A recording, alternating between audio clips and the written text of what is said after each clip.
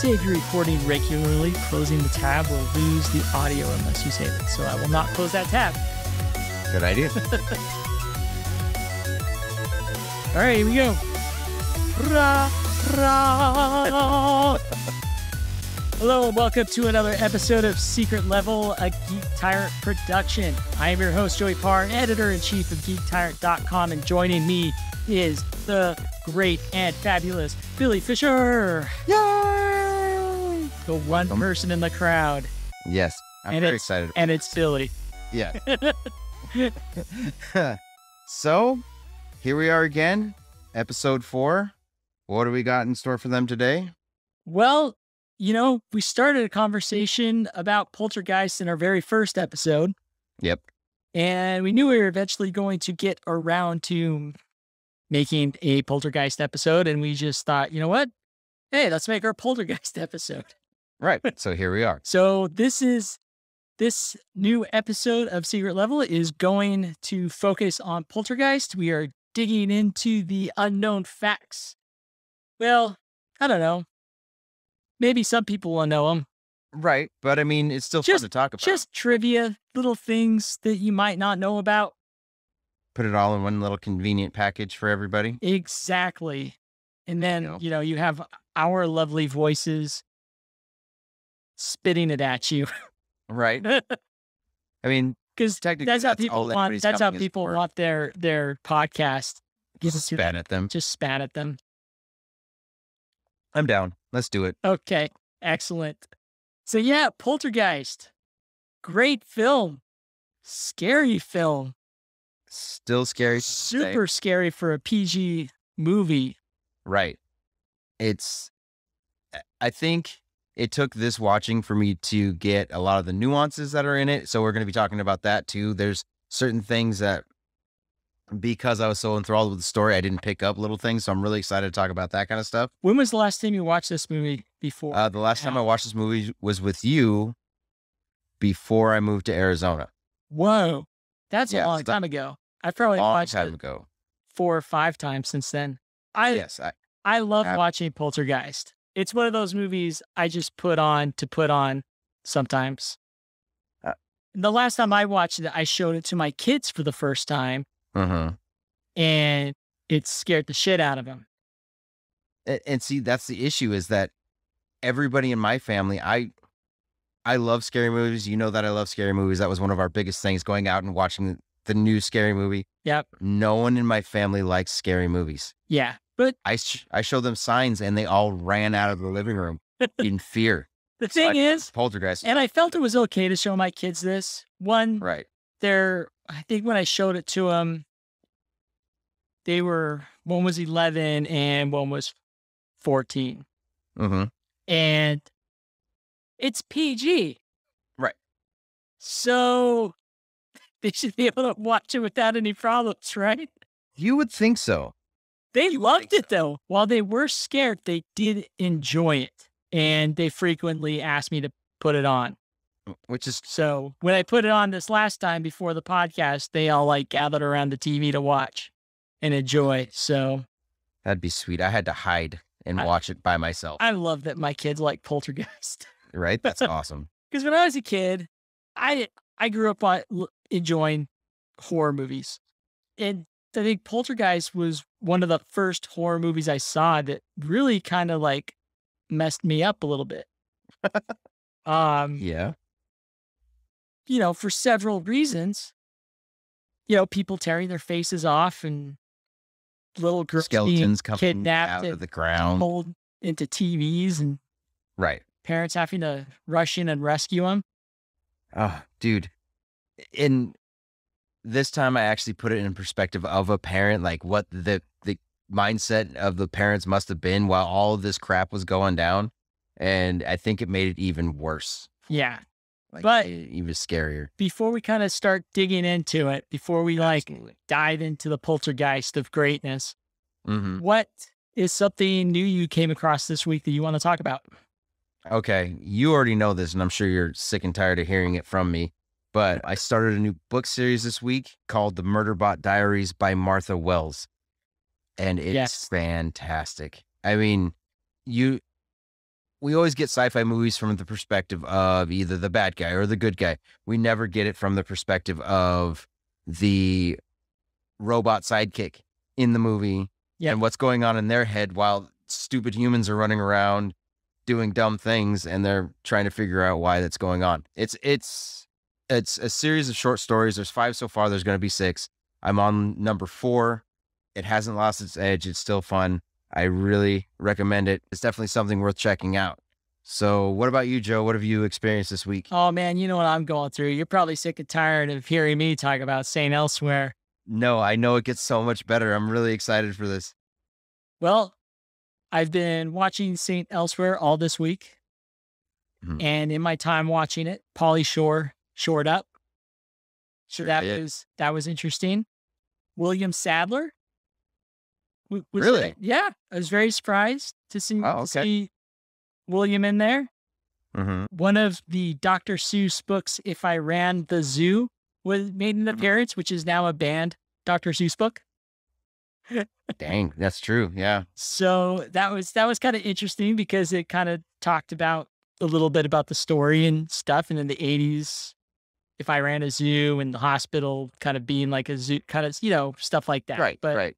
It, anyway, there was an interesting scene where you have surgeons and nurses in an operating room and they're all naked performing an operation completely in the nude.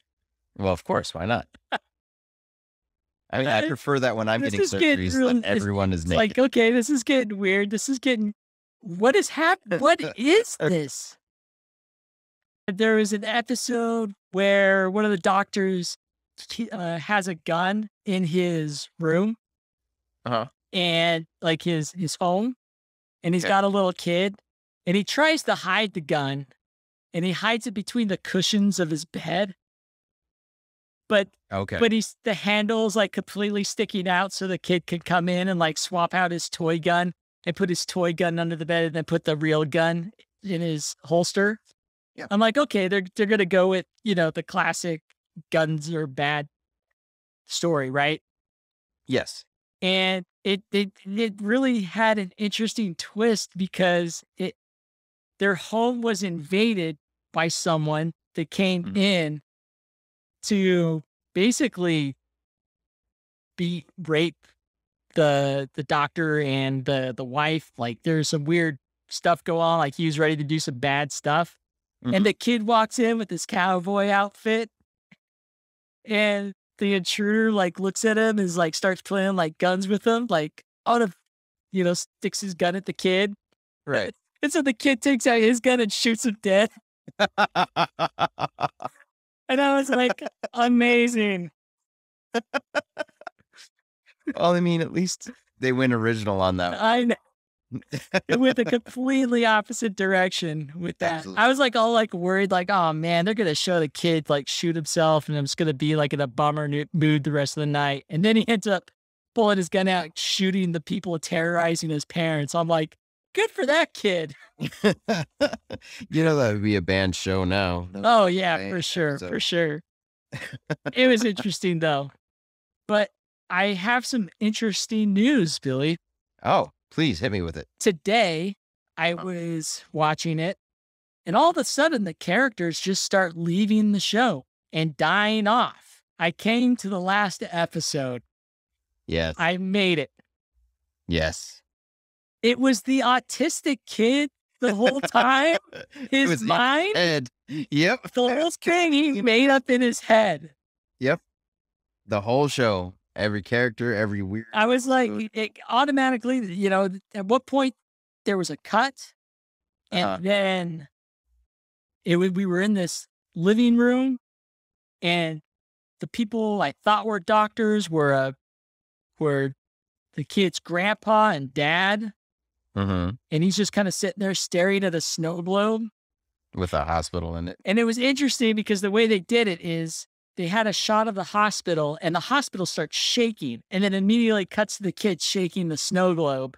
Uh-huh. with the hospital in it. And I'm like, oh my gosh. Ah, yeah. And I have so many thoughts now because everything that was juvenile about the show, s- Mhm. a lot of that stuff now makes sense of why it was so insane. Yes. But at the same time, I'm thinking, man, this kid, knowing all this stuff that he does, he's got to be pretty smart to like come up with these complex stories.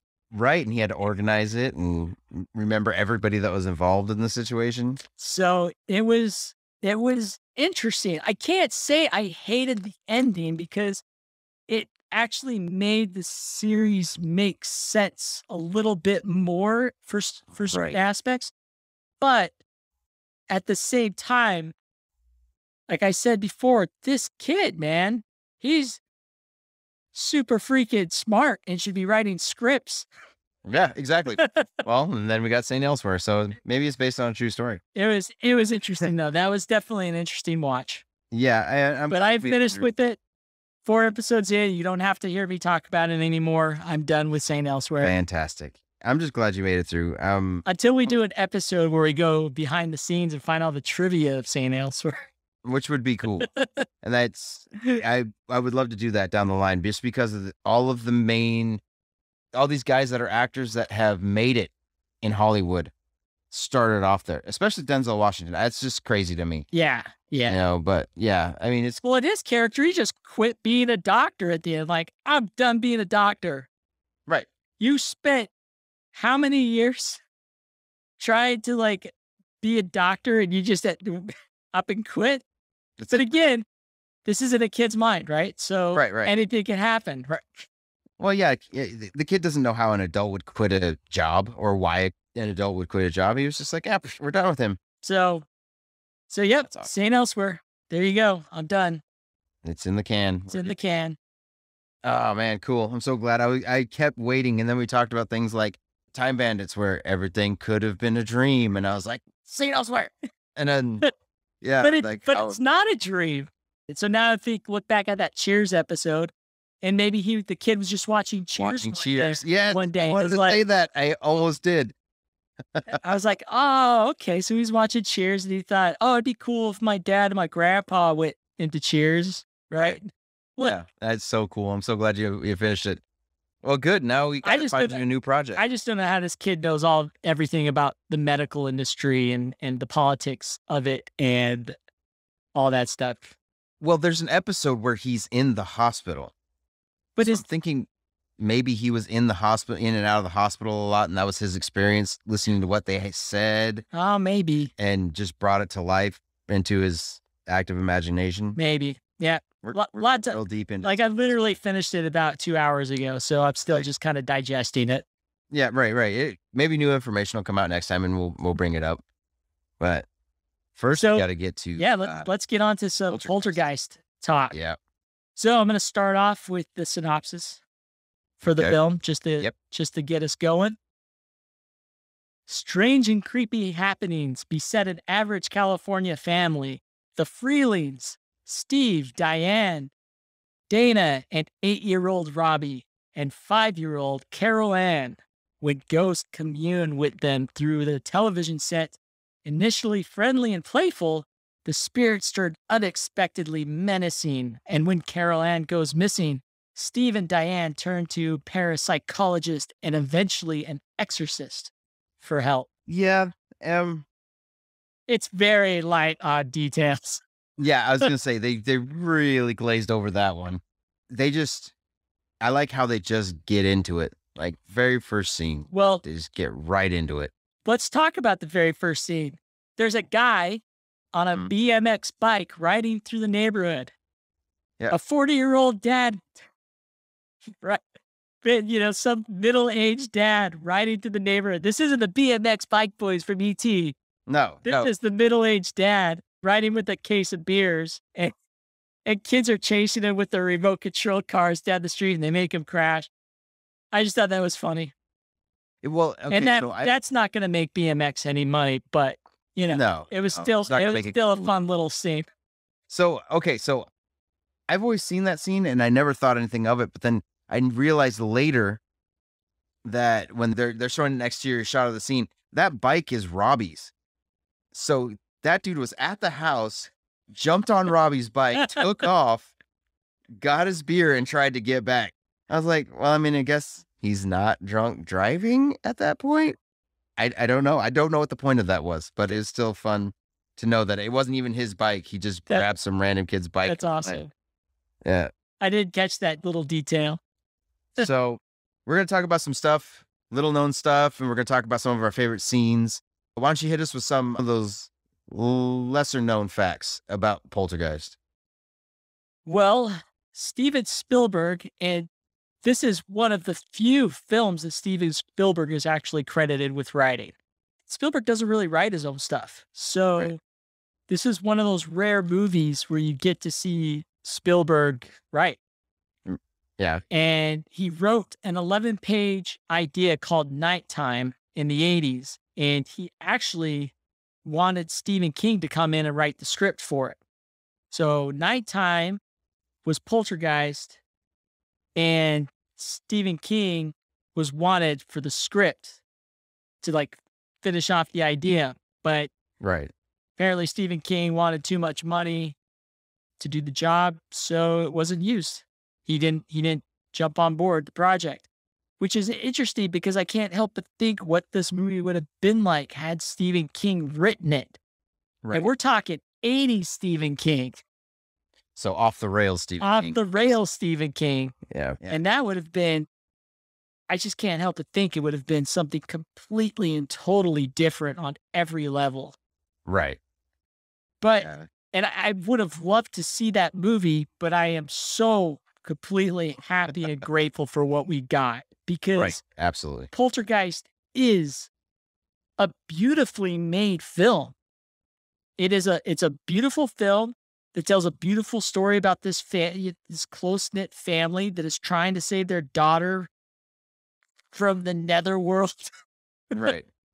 and there's there's sweet moments in it where you there's emotion and then there are absolutely completely terrifying moments where some people that don't like horror movies would just shit their pants right.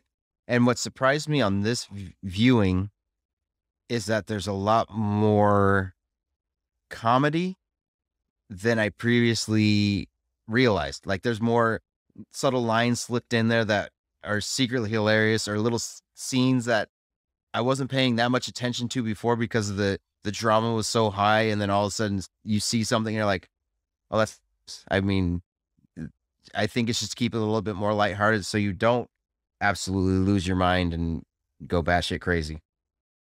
so, what was his inspiration for Nighttime, which eventually became uh oh okay okay so yeah the inspiration for the movie comes from an actual experience that happened in denver colorado in- the late 1800s when denver was expanding there was a graveyard where the city government wanted to put in kind of a big park like kind of like central park in new york but in colorado.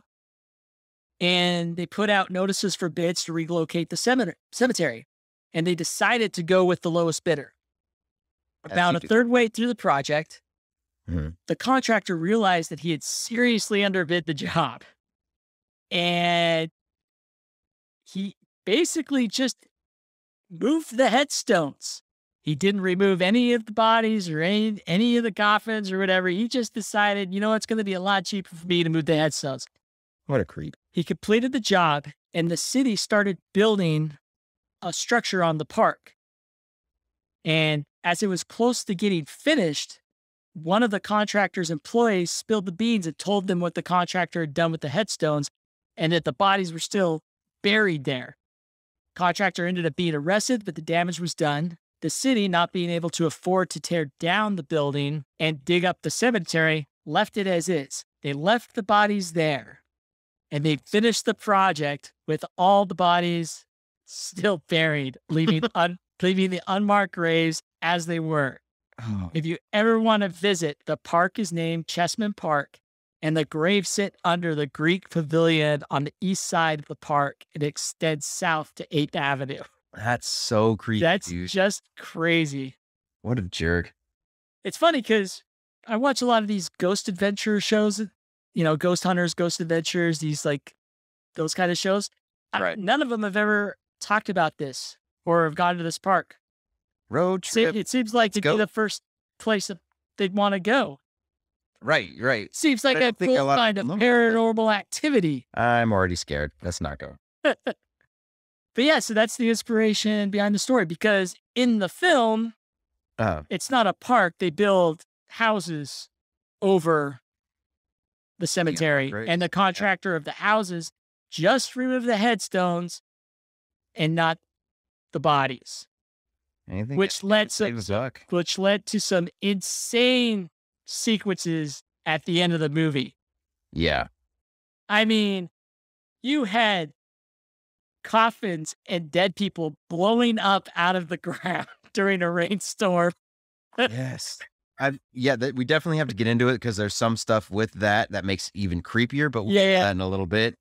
Like seriously, I, I don't know how their minds just didn't melt at that point. Cause They kind of did, though. They kind of did because you remember Craig T. Nelson was talking with the contractor, well, yelling at the contractor, saying, You only moved the headstones! You only moved the headstones and left the bodies! yes. and the contractor lets out that crazy yell. Crazy, crazy blood curdling scream. That's like, yeah, That was that guy's toast.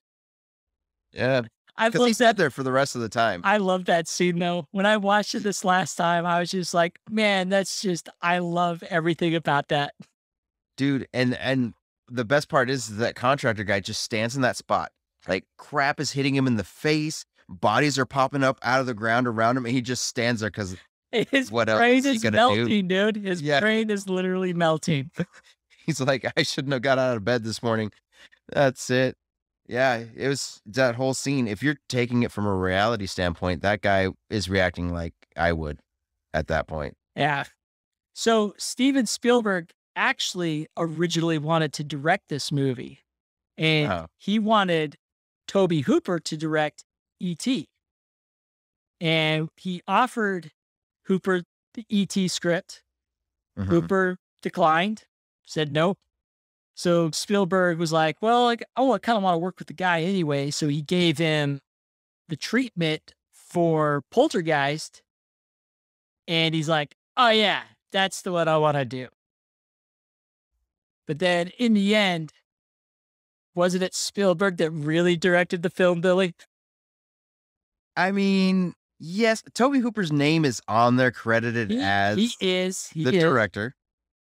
But yes, if you've seen Jaws, if you've seen E.T., if you've seen any of Spielberg's movies, it's drawn out just like that. He knows exactly where to slow it down and draw out the tension and then hit you in the face. But man, this movie has Spielberg written all over the place. In every scene, it's like a Spielberg shot.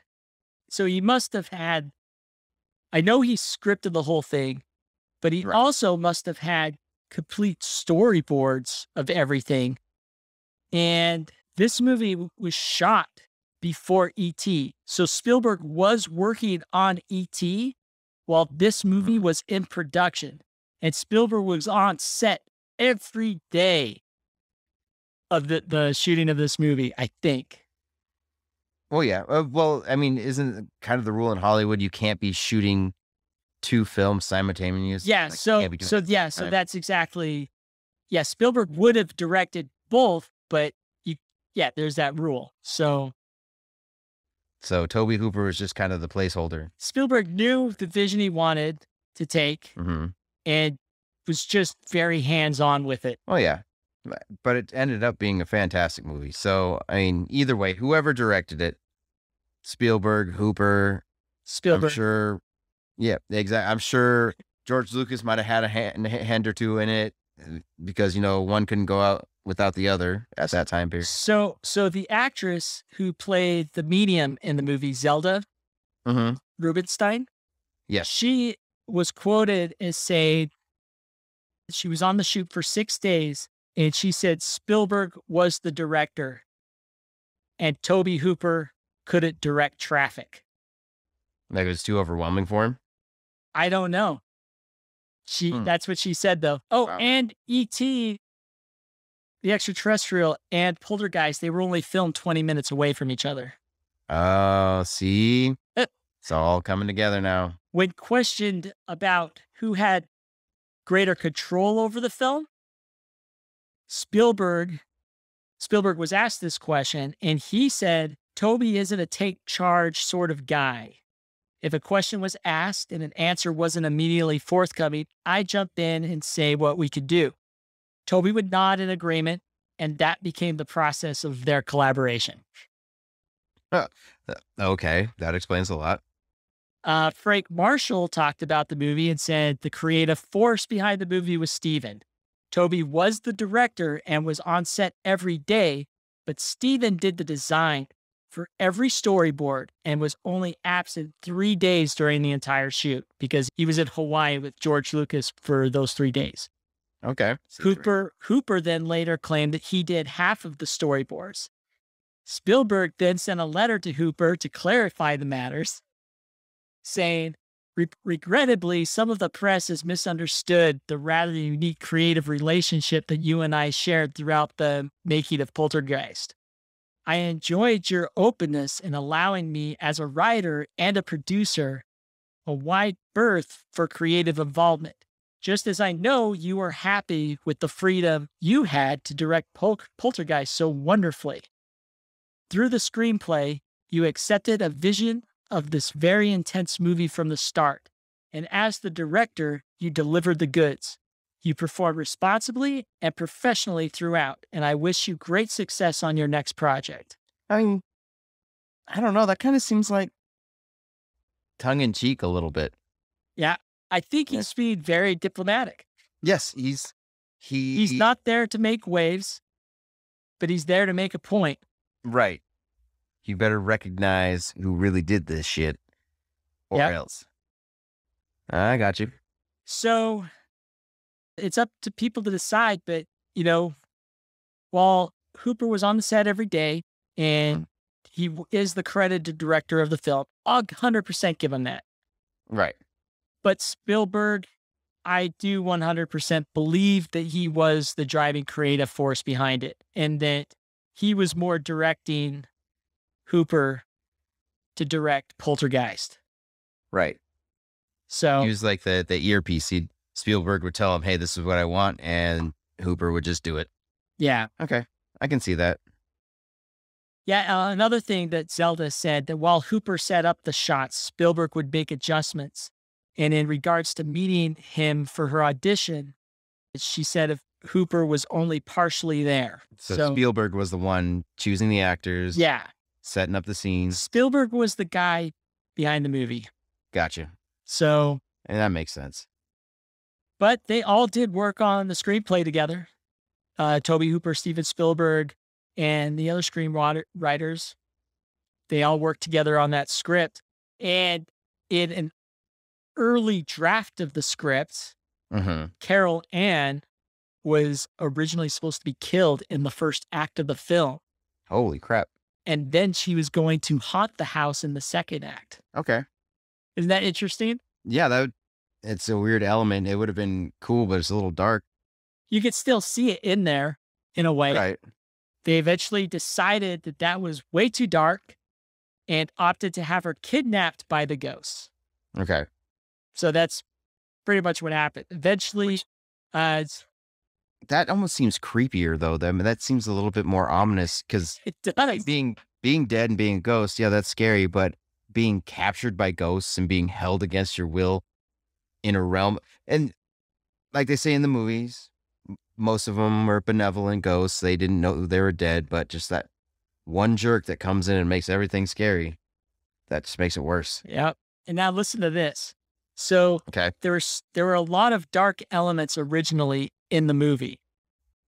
And mm. Spielberg had them removed because he wanted the movie to be PG so that the film could run as a double feature in theaters with the ET when it was released. So they he wanted Poltergeist and Oh. ET to run in theaters at the same time. Yeah. Ah, So That's a rough one. Which one do you play first? and so do you what go with- and look what he did though. Look in the movie. There's only one death in the film. and Uh-huh. it's Tweety the bird. That's because everybody else is dead before the movie started. And then there's just only a few injuries throughout the film. right. But Right. But look at the film, dude. We just watched it. Look how dark and creepy that movie is. That is 100% bona fide horror in every way. Not only horror, like messing with your mind horror, but visual horror, blood and and guts as well. Right? Right. Well, and that's the thing is, uh, in this showing, I was watching it and I was like, because I remember Robbie getting eaten by the tree, but things happen so fast. He's eaten by the tree. The next thing you know, Carol Ann's missing. So they don't really have time to comfort the poor kid who is just ripped out of his room by a tree, started getting eaten. Craig T. Nelson saves him. They follow the tree.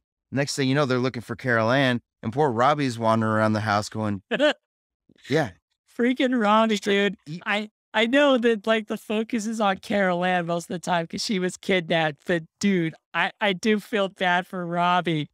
dude. Yeah, I- okay, he was he was kind of tortured. he was, but I think it actually He's always tortured. He was tortured in the second film too. with the With braces. the brick. oh my gosh, yeah, Robbie's but ruined forever.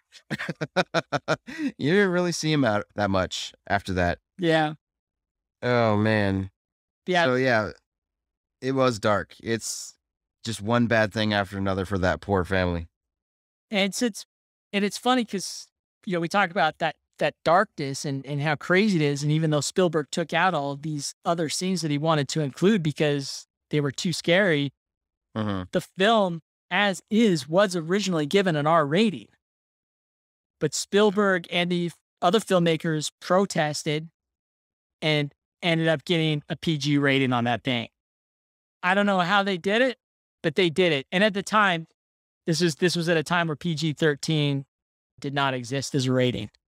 Right. I'm It, wa- it was either PG or R. The fact that they got this at the PG, wow. just based on one scene alone, I'm surprised it got a PG rating because the parents in the beginning of the movie are rolling up dubs in the bed. They're smoking weed just right there, t- toking up It was the 80s, dude. It didn't matter. the 80s. That's right. But I mean, kids are going to be like, hey, mom, hey, dad, what the heck are those guys doing? They're they're We just gonna be like, we're they're doing what we, we do every night. When you walk in on us, that's that's what we're doing. oh, nice. oh, that's awesome. Oh, That man. that's just that's what the parents are gonna tell the kids. right. They're just gonna be like, Hey mom, dad, that's what you do. Oh, kids, they love to rat out their parents. That's awesome. So I'm just telling you right now, Carol Ann is one of the. She's a little girl, so I don't want to say creepy, but she's one of the creepiest characters of any horror film. Just the voice. Not I wouldn't say she's creepy. She's she's got a sweet vibe to her, but But she says everything with a smile on her face. Like why she just watches that spirit go above her head into the wall. And wouldn't her- you when you were a kid, Billy? Wouldn't you just be like, Wow. Wow, there's see that? Because they don't know any better. They're little kids. That's what makes it creepy. Okay. Yeah, they don't see the the they don't they don't have the experience to know that that's not supposed to happen. Did you know that uh, Drew Barrymore originally auditioned for the role of Carol Ann? I didn't know that. Yeah. That's she, cool. She originally auditioned for the part. Spielberg loved her and was Uh. like, you know what? I want this kid for ET. So much And, better. And she, so Spielberg, so Spielberg held off and she didn't get the part in Poltergeist, but she ended up in ET. So her audition for Poltergeist landed her the role in ET, which I thought was was pretty awesome. yeah, that is cool. And, I mean, and oh, go ahead. perfect as Gertie. Oh, oh yeah. No, Drew Barrymore is great in that film.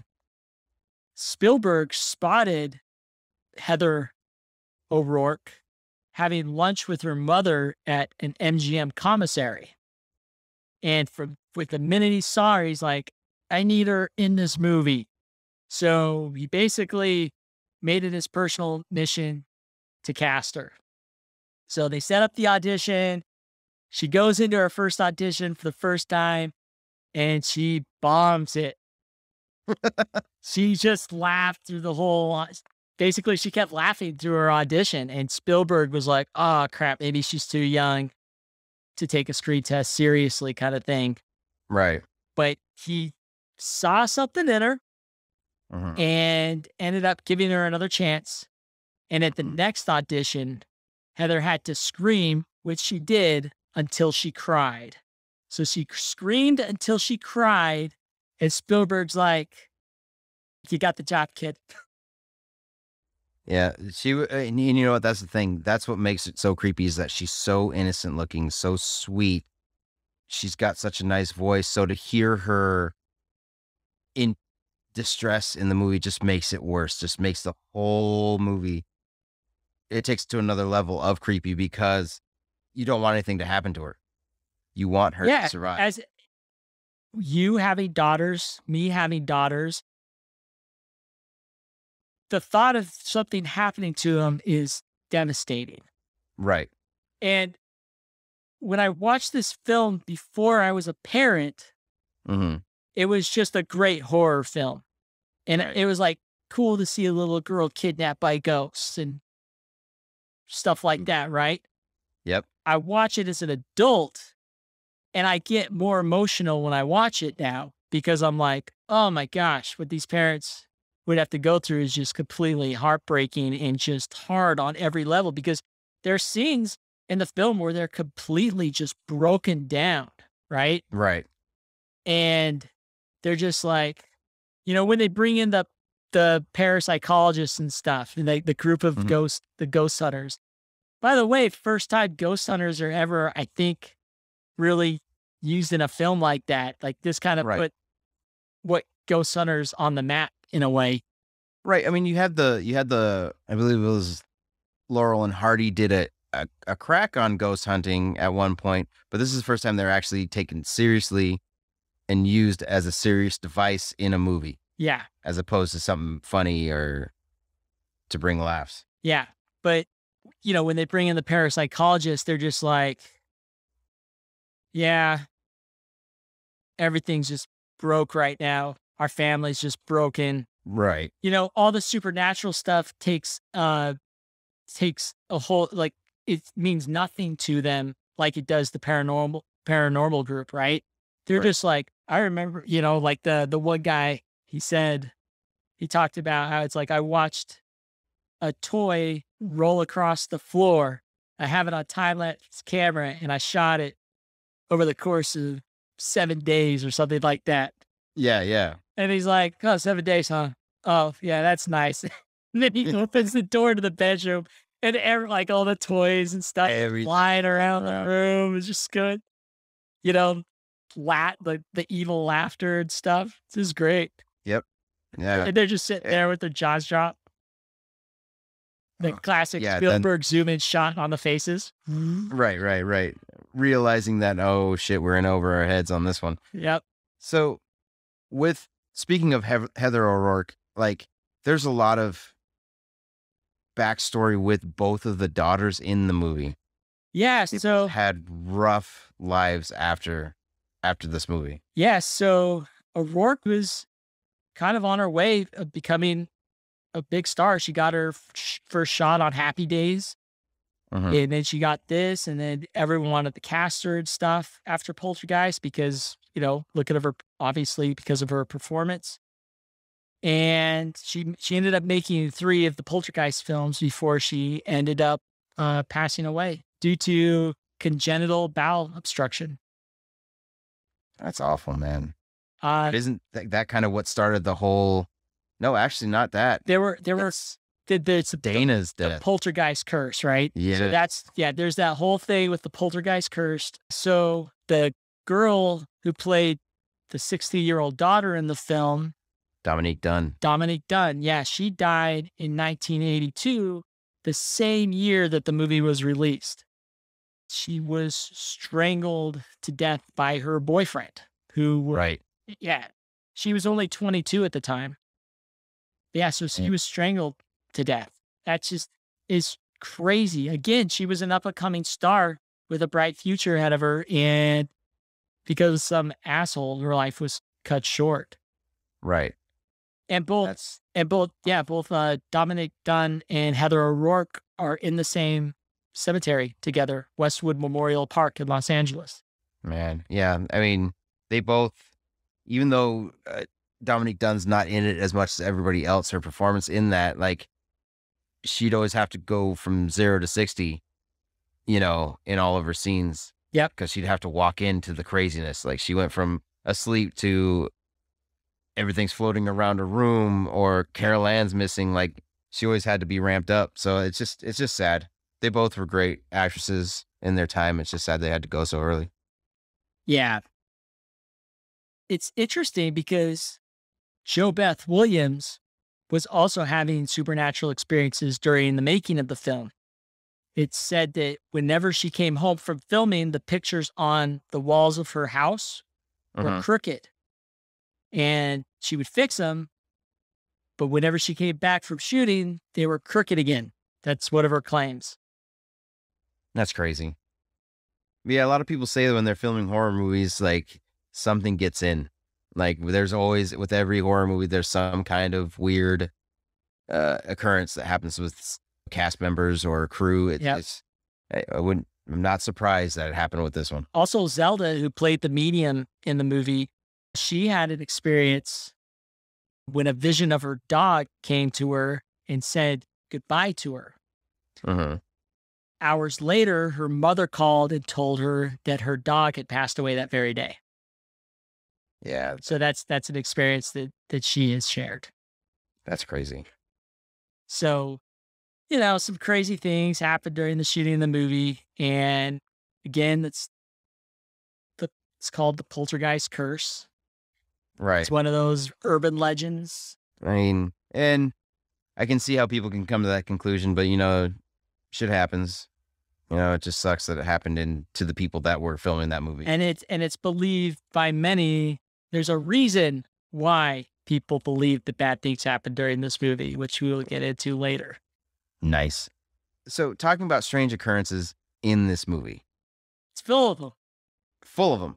I had to rewind one scene about five times, and then I had to call you to make sure that I was seeing what I was seeing yeah you because it did made no sense. because you were watching it on hbo max right Right. I so was you, watching that. so you thought it was just like a weird thing that maybe right. I thought it was the was just on the- the streaming service Right. I thought it was the like yeah, everybody knows uh Maclunkey from Star Wars. They added that in on Disney Plus. So I thought this was a scene cut by HBO for the streaming service cuz Diane's sitting there talking about the sliding chair through the kitchen and Carol Ann sliding and they're talking and then all of a sudden mid sentence it cuts to them at the neighbor's house and I was like, "What the what? Did I miss something? Was like, was there like inappropriate language or something too much? Was it too much for HBO Max? yeah and so I it's called you and I was like, yeah and i'm like oh yeah man. yeah i that is in the actual real cut of the movie and has always been in the cut there's just this hard cut right in the middle of the sentence and they end up like you said they end up at the davers house the reason for the cut was because of the original scene steven says how he hates pizza hut the dad right, right, right. It's not like yeah, because they were talking Hut. about going to Pizza Hut Yep. after they got done with the chair.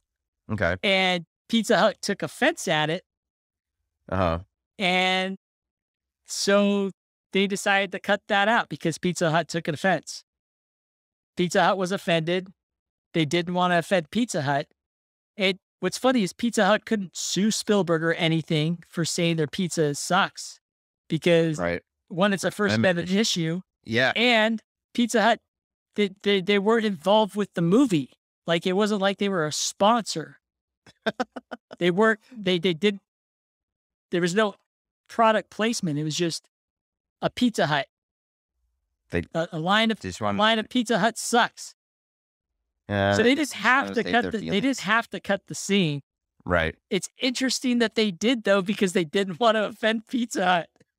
Like And it's such a jarring cut, dude. It just And like, I wouldn't even care. I'm like, so what? What they think? Pizza Hut does suck. That's why I put in the script. Honestly, I don't know anyone that likes Pizza Hut. Should we cut this out? We keep saying Pizza Hut sucks. I'm not cutting. Yeah, we should cut that out.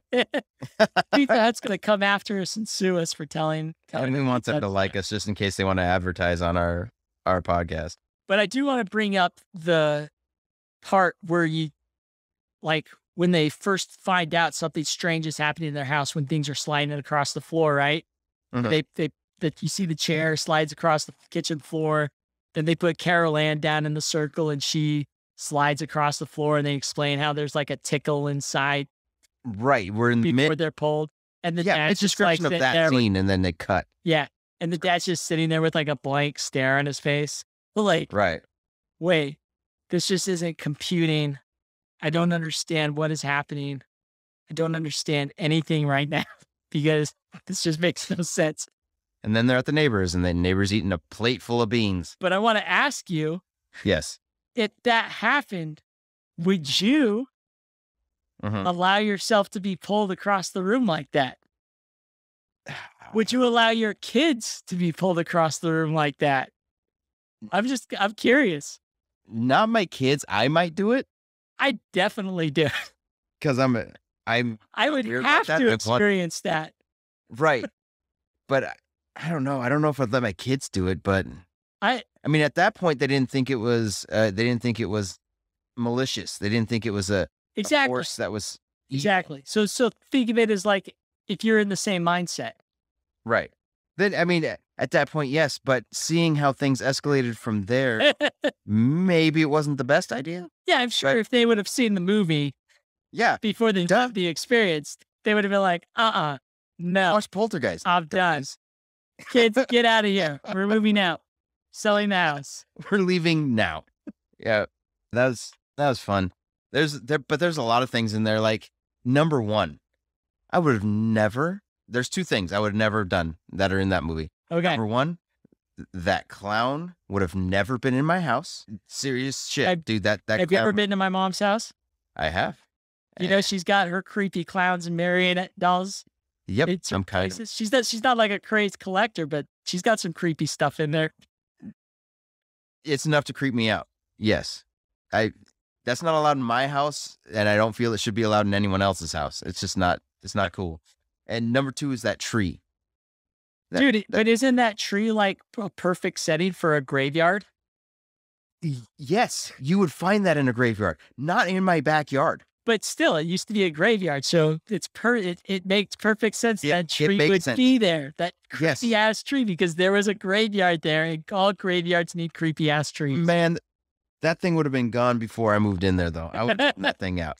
That there's no reason for that to be there. But yes, But s- but speaking of the clowns and the and the creepy tree, those were based on uh very real fears experienced by Spielberg himself when he was a kid.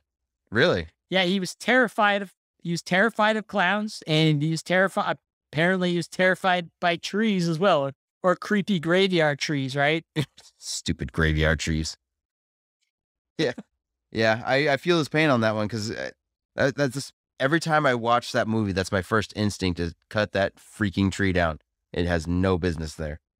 Yeah. But one other thing I wanted to talk about before the the clowns and the creepy trees, that shot of the chairs, that crazy balancing shot the of The pyramid of the chairs. pyramid of chairs. Yeah. Yeah.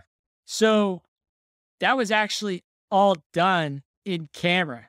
Like as they were shooting and it pans away, a bunch of guys Uh. came in and put all the chairs together and then ran off a screen when it panned back. That's amazing. Yeah. That's amazing because that, that chair pyramid looks so hard to put up. Seven seconds. They had to do it in seven seconds.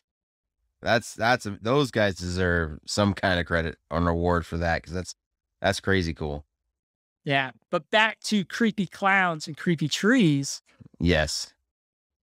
Oliver Robbins, the kid who played Robbie in the film, Robbie. son, Uh huh.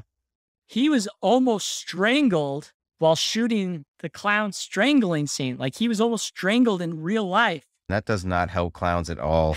That did, no, it does not help their cause. No. Neither do creepy clown hotels that exist. Good point. Yep. But, But- so he almost got strangled by that. Yeah, so the equipment used to tie the clown's arms around Robbie's neck, Uh-huh. they ended up becoming too tight and it started to constrict on him for too long. Uh-huh. And Oliver kept screaming, I can't breathe. But Tobe Hooper assumed he was just ad libbing. He thought he was just acting.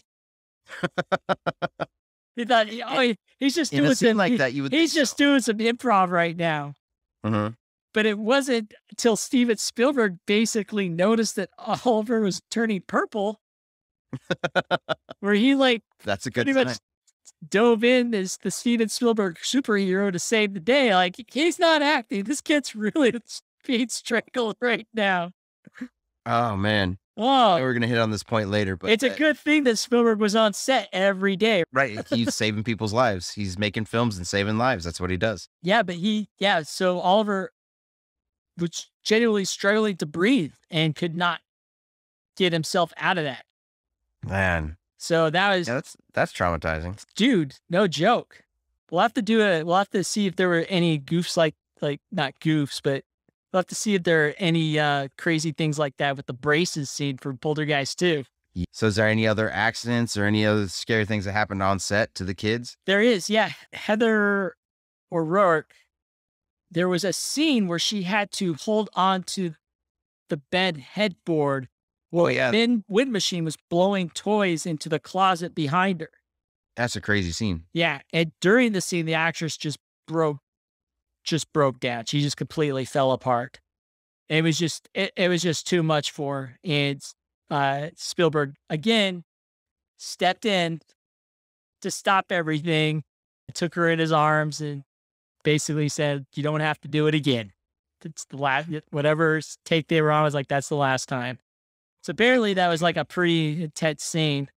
I mean, you watch it, you, there's fear in her face. Yeah, Yeah. She is not having a fun time. she is not having a good time in this. Because I was watching that today, I was like, how are they doing that? And you could tell she's struggling as hard as she can to hold on to that headboard, and it's l- wicker, and it's literally just ripping apart in her hands as she's trying to hold on to it. I I really wondered. I want to see how they did that scene, but now that I hear that she was traumatized by it, I, I'm just gonna leave that on alone. It must have been fun and hard to be on this film as as one of these kids. Right, right. Because a lot of a lot of shit's going down that really messes with your psyche. And you've got to be a good actor. You've got to Yeah. like show the fear in your face, especially poor Robbie. Oh, the guy goes through so much crap in both movies. they kick his butt. One thing that's always bo- that that has bothered me, but it kind of hit home for me today was okay. So Zelda Rubinstein Yes. plays Tangina in the movie. Yes. She's the exorcist, and she comes in, and she's great. She's a great actress in this movie. This role was just built for her. My my mom knew her. No way. Yeah.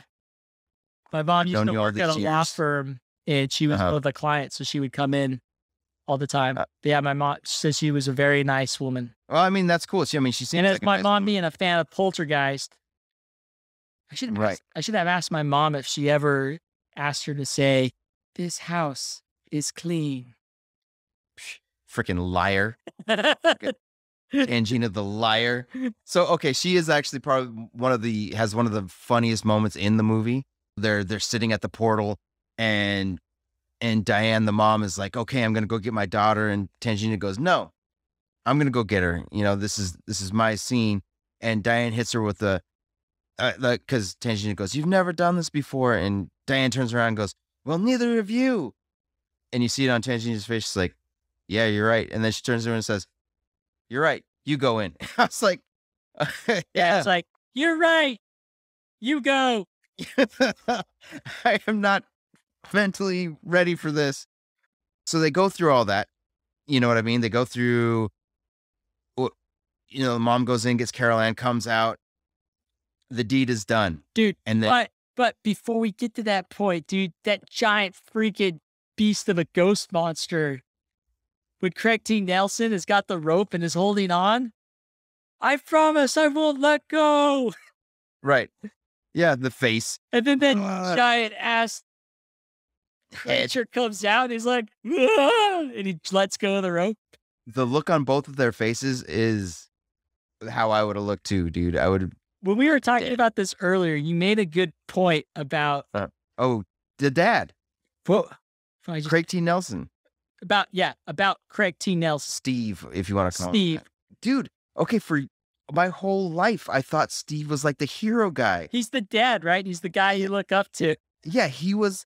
But then I watched it this time about mm, the second act. He's broken. Yeah, He's pretty much given up. There's no, like, he has no hope in this situation. Like, he goes and gets the parapsychologist, but that's the last, like, useful thing he does until the very end. You know what I mean? It's the mom. Diane is the true hero of this whole movie. yeah. You know what I mean? She's the one that goes in and sacrifices herself to get the kid. Dude. And at the end, when like she's getting thrown all over the room, she never loses her shit. Dude, speaking of which, that scene is kind of terrifying. so scary, So like, dumb scary. I was like, yeah, man, it's it's like- almost watching it as an adult. As a kid, you're like, oh my gosh, Right. but as an adult, you're like, oh my gosh, like that's that's brutal. What is happening? Because sh- this woman is being attacked by a malevolent spirit right. Obviously it's just wow. She's getting dragged all over the place, getting thrown outdoors. She never loses her head, dude. She's on point the whole time. I'm getting my kids. I'm getting the hell out of here. That was another thing that bothered me. Why'd they stay at that house while waiting for frickin' Steve to come home? But look, The- but look at this real quick though, and this is Yeah. one thing I wanted to point out when you were talking about Tangina, because Uh-huh. she says the house is clean, Liar. and she leaves, and everybody leaves, and then they're like, "Ah, finally, good. It's all the house is clean. All right, let's pack. let- Everybody's gonna be happy. Let's pack up and get out of here." And just when you think everything is all nice and wonderful, it just falls apart. Robbie gets attacked by a clown. Yeah. That's it's the second half where Robbie gets attacked by the clown. It's it's the second half where Yeah. Where But dude, that little that little maniac, he's been through so much. He's tired of this shit. He rips that clown to pieces. I know, like- dude. I ain't taking this from you anymore. He it's- hulks out on that thing. I love it. Dude, he's him and the mom, the true heroes of the story, man. They never give up. They're freaking fighting to the end. And after after the scene where she's dragged all across the room and on the walls and the ceiling and stuff, Right. and she goes running after her kids and just complete just everything. She's just drained of energy because of what is happening right now. Right. And I love that shot of her looking at her kid's doorway and the hallway just stretches. And she starts Freaking- running and it continues to stretch. And you're just like, oh my gosh. Because that's what it would be like in real life if you were really trying to save your kid. It, you, You wouldn't be able to get enough. there fast enough. Oh no, yeah, definitely. Ugh. But she she goes that. m- I know we only see it once, but the monster that blocks her from the door. Yes. I just That gave I just gave. Billy a wide eyed look. You no one saw it. I like I shook my head. I had to say Yes. yes, to That convey monster- that. I, at that point, I give up. Yep, I'm done. That that thing comes popping out of me. Nope. Uh, this shit's gone to a level where I can't handle this. I'm I'm out of here. But no, she kept fighting, dude. She was all over that thing. Yeah. It's interesting too, because you know, Zelda, you know, said this house is clean. Apparently in real life, she was a real medium and had psychic abilities. No way. Yeah. I believe that. Like that's coming from her. I totally believe that. Well, I mean, she plays it so seriously. I wouldn't doubt it. I have no, you know, good for her, bringing it to Hollywood. Yep. So yeah, um, One of the other scenes I wanted to talk about though was when the investigator goes into the bathroom oh my god, It starts no, peeling his face off. dude. because that is hands down the the goriest, most one of the goriest, most disturbing scenes in the film for a PG film ever. Yes.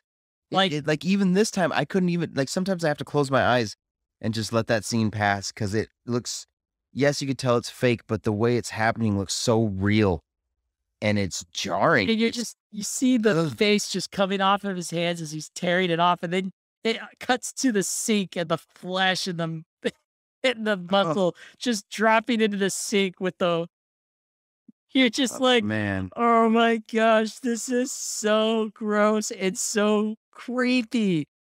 Ah, stop it. It's It, Uh, it it's uh, interesting though because Spielberg wanted to get that scene right. uh Spielberg, Spielberg wanted Uh-huh. not Hooper. Spielberg wanted to get that scene right. So Spielberg went in there, and those are his hands in the scene.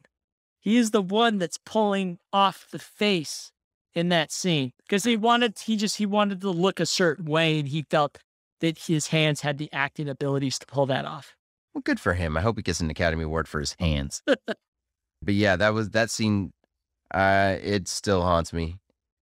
That's like one of the first things I think about when I think of Poltergeist is is the face ripping scene. the face and the meat crawling across the counter. Screw that. All the stuff that comes floating out of it. Because I will tell you right now, Billy, Huh. and Yeah. those of you who are listening, I will tell you right now, ever since I saw that as a kid, I, Mhm. whenever I see a steak, Mhm. that immediately comes into my head.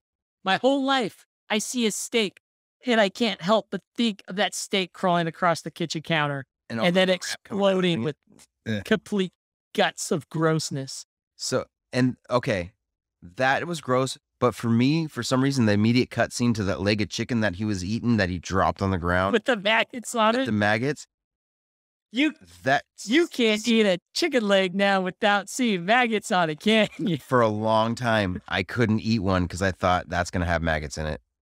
Screw that. And like uh, my kids love eating chicken, so that's probably part of the reason why I won't show them this film because I don't want them to be ruined for the rest of their lives. I don't feel like I'm ruined. I kind of like the fact that I always think about that scene when I see a steak. oh man, that it, it's disturbing on so many levels. um, okay, speaking of creepy things that happened in the movie, like little details that you never caught before, you told me about this one before I watched it this time, and I saw it, and it it hurt my feelings. It- I was like, "That's creepy," and I hate it. So when Diane is blowing her hair, this is when everybody thinks everything's good and happy and life's The, gonna the house is clean. the house is clean. Uh, on the dresser in the background, there's a row of photographs of their family. Right. And after the cutaway to Robbie and the clown, Diane gets attacked. If you look closely at the photographs in the background, mm-hmm. the middle picture is of Carol Ann. But now it's not Carol Ann. In this scene, the picture of Carol Ann has changed into a demonic creature. And I had never noticed this until just recently. And I was kind of blown away that I've watched this film so many times and I've never noticed that before. It's just a great little detail, a great little touch that after all these years is a newly found Easter egg for me that s- truly happy I found because it just makes the movie so much better. It does, and it's uh, those little touches. Like I had never noticed it before, but once I noticed it this time, I was waiting for it, it- but it still caught me off guard. I was like, "Oh, ugh, that's not good, man." But it once again just reinforced: Tangina's a liar. The house is not clean. She didn't know what she was doing. She didn't know what she was getting herself into. She didn't best know part- the power of the dark side. Right? Poltergeist. But they bring her back in the second one, right? Yeah. She did good her first time. She did better the second time. But yeah, no, dude, that was the picture thing. That was freaky. And before we go on to talking about something like kind of the highlight of this thing, I'm really excited to talk about because it's true. The rumors were true. Uh, I want talk about Robbie's room Okay. because Robbie had a lot of cool stuff in his room. A lot of Star Wars stuff. Oh, it made me so jealous, dude. He had Han Solo's blaster. He, a couple of things in there I did have. And it made me sad when all the toys are falling into the closet. You see an original TIE fighter It's like, no, that's a collector's item. and it bashes into pieces. It was like, oh, dude, the pain. It's it's funny too because I don't know if you noticed this, but Robbie also has a poster in his room for Super Bowl 22. Okay. But Super Bowl 22 wouldn't take place for another six years Okay. when this movie was made. I Uh-huh. think it's weird that, and kind of fascinating that they put a Super Bowl 22 poster in a room when it was six years away. Right. I don't know the reason for that, but it's just got a, a fun little, hey, did you know moment. Right. But there's a little more that goes with that one, right? What The Super Bowl 22 poster. is there? Yeah. So, Oh, you tell me then. Okay. So they say Super Bowl 22 takes place six years later, right? Yeah. So Heather O'Rourke died in San Diego the day after Super Bowl Sunday in 1988, which was played in San Diego. Whoa. Yeah. I know it doesn't have much, but I just think it was kind of crazy that that's, you know, That's interesting. that it came out in 82, Super Bowl Sunday six years later. Yep. Wow. Okay. Yep. So just another little nail in the coffin of the, uh, the poltergeist curse. Inappropriate, Billy. I'm sorry. Inappropriate. I had to go there. okay. Now Now, let let's get to the rumor. Let's let's okay. set the record straight about the one long-lasting rumor about poltergeist. I've been hearing this for a long, I- you know, this is just one of those things that I've heard about when I was growing up. When I was a teenager, I heard about it. As a adult, I kept hearing about it. But the rumor was the skeletons used in the film at the very end Mhm. in the swimming pool. Uh, when Diane's in the swimming pool, the skeletons come floating up, and the skeletons that are like exploding out of the ground, and coffins opening, and skeletons falling out, and just it's just a mass. One of the best spook alleys you've ever seen. Mhm. Yes. Those skeletons were not fake. The rumor was they were real skeletons. And the fact is, they were real skeletons, real human skeletons, That's messed up. because it was cheaper and more cost effective to use real skeletons at the time than plastic ones. How is that even possible? Yes, that is true. And JoBeth Williams, who was the one in the water dealing with all this stuff, did not know any of this until Mhm. after they had shot the scene. She did not know they were real skeletons. She did not know she was in a pool with real skeletons. I guess it's better for her not to know until it was done. But there's still no excuse. They should have they should have warned everybody. It was the 80s, man. Yeah. They just did what they want. in an interview that aired on VH1 in 2002, Mhm. they asked Williams about this, and she said, I would have to go in this huge tank of what I thought were mud with these skeletons, which, by the way, I thought they were plastic, but later found out they were real skeletons. And she says, it was a real nightmare. Of course it was. In another interview on the TV Land show, TV Land Myths and Legends in 2008, Mhm. she expanded on that a bit, saying, You have to understand that this sequence took probably four or five days to shoot. So I was in mud and goop all day, every day for like four or five days with skeletons all around me as I was screaming. In my innocence, I assumed that these were not real skeletons. I assumed that they were prop skeletons made out of plastic or rubber. I Hmm. found out, as did the whole crew, that they were using real skeletons because it's far too expensive to make fake skeletons out of rubber.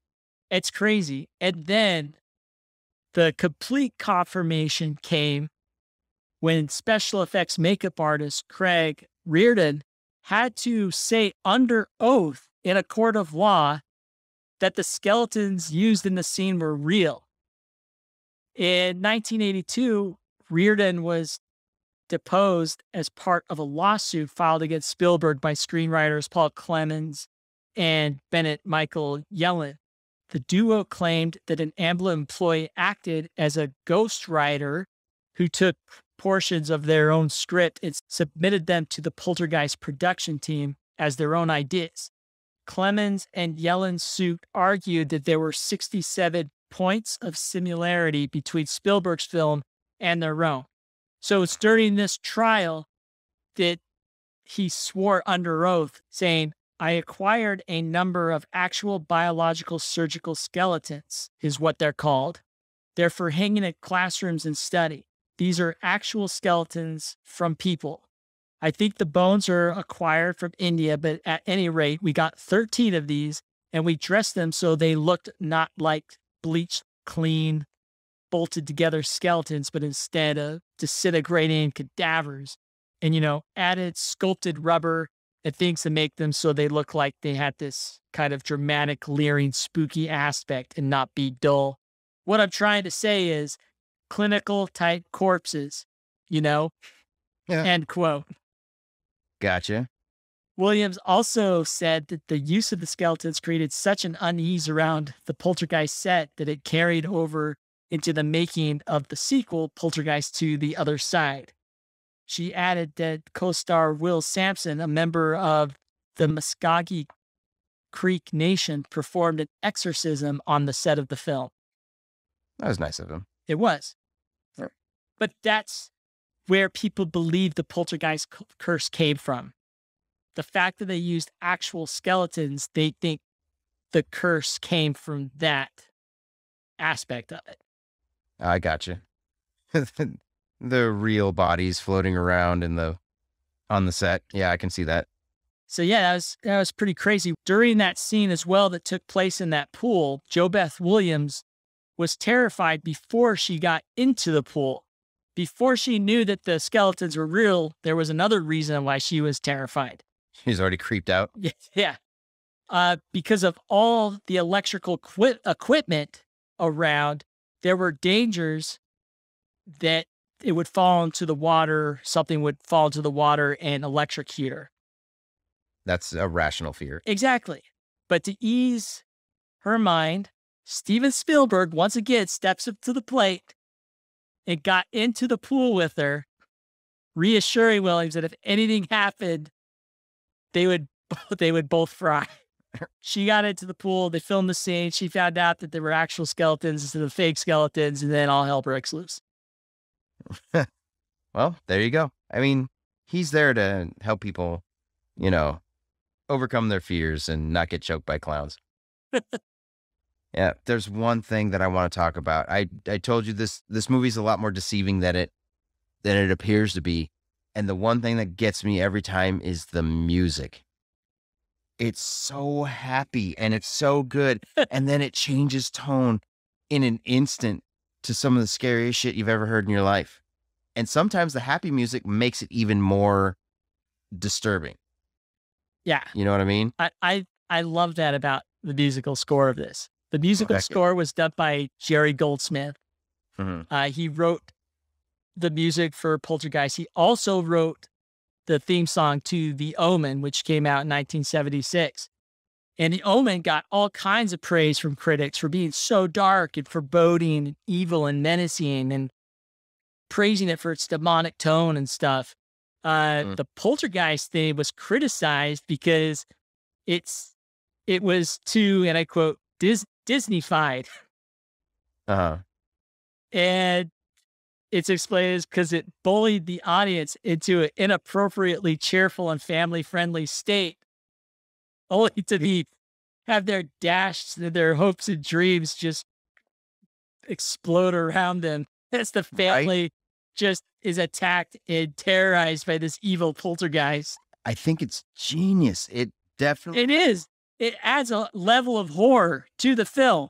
it the does. And- cheerful music adds horror. Like, and that's the thing too is like because you want this family to be okay and you love the happy moments. They seem like a really happy, fun family, but the score will change almost instantly when something weaves its way, something evil weaves its way into the family. And it's just, it takes on a whole different tone. Even though it's the same music, it's different Yeah. and it makes you feel worse. So, I mean, good on them, dude. I mean, all of it worked. Yeah. Yeah. A couple other things I want to bring up before we close this out. hmm The sound effect for the beast that attacks the house at the end of the movie is the source for the MGM lion roar. I heard that this time, dude. And I was like, no. I was like, no. Uh, Yeah, no, I'm with you. Yeah, you can definitely hear it. and why don't you tell them about the very, very end of the movie? Because most people don't stay through the credits. Okay, so today, I've never stayed through the credits because it, it was before post credit scenes. Yeah. You never get that. And so I got finished watching it. I had some laundry laying on the bed, so I start folding it up, and in the background, the the credits are rolling, and I'm just listening to the music. La la la. la. Then all of a sudden, I hear the freaking creepiest laughs, just in uh, layers and layers of creepy little kid and adult laughing. That's the very end. That's the that, it's to me. It could be the original post credit scene, but it gave me chills. I thought I was dying. It was everything that I, everything you Where's that coming from? Where's that noise coming from? I jumped. What is happening? Am I dying? exactly. So definitely, I mean, I know it's not that big of a deal, but I mean, it, it is a post credit scene, quote unquote. I mean, nothing you never, I've never heard about it. It's nothing I've ever heard of before. And then it got me today, and I was like, you know what? Uh, I'm probably never going to listen to that. So if you've never stayed to the credits of Poltergeist, next time you watch it, stick to the credits. Enjoy Yeah. some evil demonic laughing before you go to bed. Oh, yeah. And before we end, I just want to leave you with a quote from the film. You're all familiar with the quote, they're here. But I want to leave you something with a little different this time. So this quote comes from Tangina in the film, who says, You can't choose between life and death when you're dealing with what is in between. I like that quote. Yeah, it's a good one. That's why I'm sharing it. Made me happy. Something to be learned from it. Right? Right. Yes, always. So there you go. That's my quote. Well, thank you guys for joining us in another episode. We get kind of get carried away, but we really appreciate you guys listening. It's it's a joy for us, and we want you guys to enjoy it as much as we do. Yeah. So if you like what you heard, like, subscribe, leave a review, make suggestions. We're open. We're curious. We'd love to hear what you got. But anyway, thank you for listening, everybody, and have a wonderful day or night, depending on when you're listening to this. Have a good one. Goodbye.